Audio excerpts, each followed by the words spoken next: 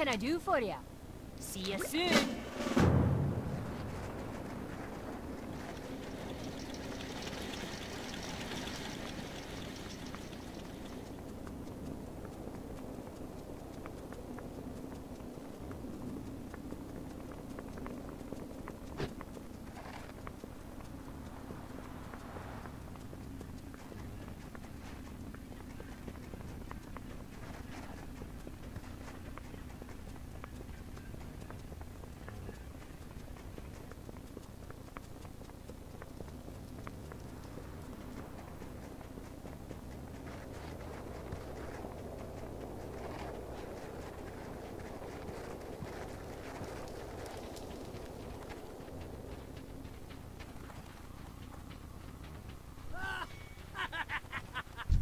Can I get for you today?